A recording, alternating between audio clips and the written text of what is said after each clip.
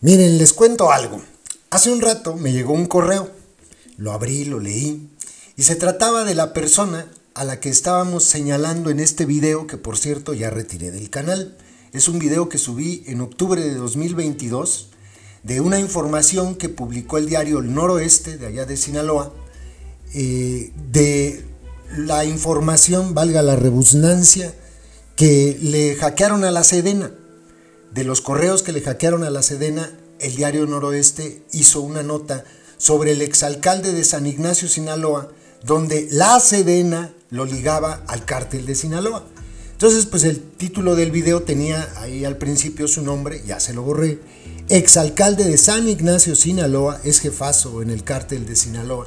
Este tipo pertenece al cártel del Partido Verde Ecologista de México.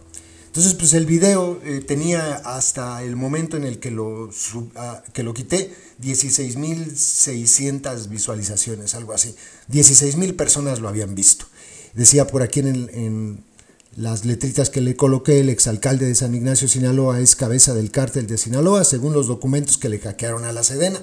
Bueno, pues la persona me contacta, me escribe el correo, que es el que ustedes están viendo en este momento. Aquí ya le borré su nombre para que no haya problema. Eh, y me dice lo siguiente.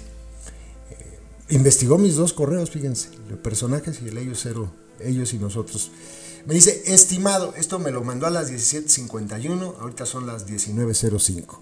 Estimado, me dice, espero que este mensaje lo encuentre bien. Mi nombre es, y puso ahí su nombre completo, nacional y residente mexicano.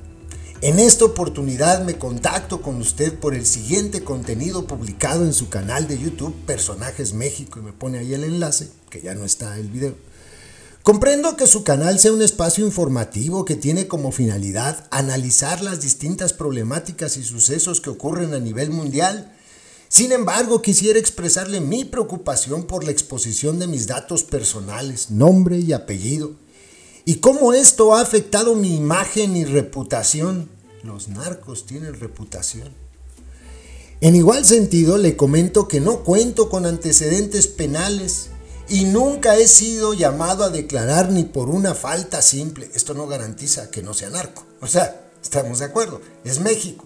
Ahí andan bien felices algunos. Es más, me estoy acordando que el Chapo Isidro no tenía ni siquiera una orden de detención en México hace unos años. O sea, qué, qué cosa, ¿no? La información publicada afecta gravemente mi honor e intimidad, ya que distorsiona la percepción que terceros tienen de mi persona, generando un efecto discriminatorio y provocando conflictos personales, laborales y en especial familiares. De eso es lo que se tuvo que haber preocupado antes de meterse con la delincuencia organizada.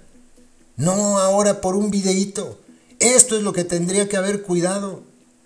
Ahora resulta que se le hace que eh, eh, esto le afecta especialmente en lo familiar. Pues claro, pues ¿qué esperaba? No el video, ¿eh? Sino que se haya metido con los narcos. Eso sí afecta. Pero bueno, es por ello que en esta oportunidad quisiera solicitarle amablemente la eliminación del video o, en su defecto, la pseudonimización de datos personales. Esto es reemplazar mi nombre y apellido por X o mis iniciales IEBM. Esas son sus iniciales. La gente de San Ignacio en Sinaloa sabe quién es. Bueno, pues él fue el que pidió que elimináramos el contenido. Agradezco su apoyo y voy a estar pendiente de cualquier pregunta que pueda tener. Quedo a la espera de su respuesta. Atentamente y me pone otra vez ahí su nombre completo, ¿no? Bueno, yo le contesté, Voy a retirar el video solo para no ver perjudicado mi canal, no porque te crea un gramo que seas una persona decente. Los datos no los inventé yo, apareces en los archivos de la Sedena. Son ellos los que señalan que eres narco. De quien deberías cuidarte es de ellos, no de un simple video. Total, ya lo vieron más de 16 mil personas. Lo que haré es bajarlo y subirlo a otras redes porque esta es información que la gente debe tener para que sepan que eres narco. Eso, que eres eso, un narco. Además, haré un video con tu correo y lo subiré al canal para que la gente sepa por qué lo retiré. Y descuida, usaré tus iniciales para que no tengas oportunidad de perjudicar mi canal. Ah, por último, no respondas ya, te vas bloqueado. Ahora resulta que les preocupa mucho un video, pero no lo que hacían. O sea, se meten entre las patas de los caballos y quieren no salir pateados. Son verdaderamente infames.